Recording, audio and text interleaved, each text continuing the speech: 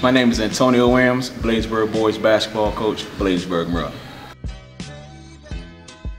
Well, our expectations already been set uh, since we've been here for the last two years. Is that we want to.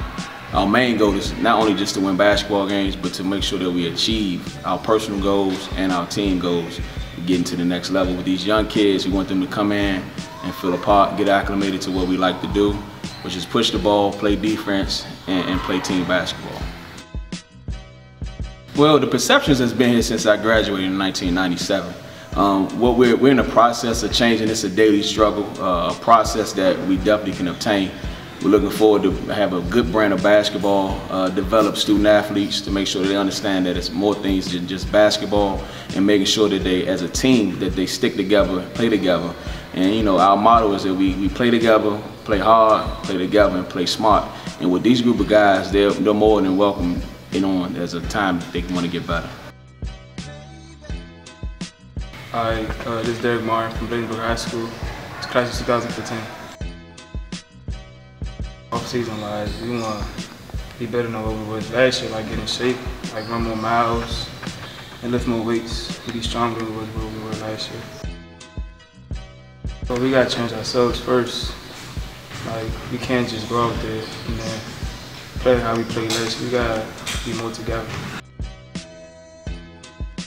team, we want to go at least, like this year, we didn't go as far. We got lost to uh, Parker in the second round. So this year, hopefully we can make it in the regionals. That'll be a good plus for us.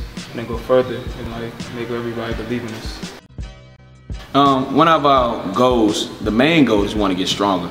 Um, with that being said, we have uh, implemented our weight room, which we do every year. Um, this year, we've done our conditioning a, a little bit earlier than last year. We're about a month ahead of schedule as far as doing that. The kids are buying in, they're, they're coming every day. Um, and when we put our goals in place, it's not something that the coaches say, it's that the players as a program, they want to get better so we can change how people actually think about us as a basketball program and then as a school. Well, I want people to say what they've been saying.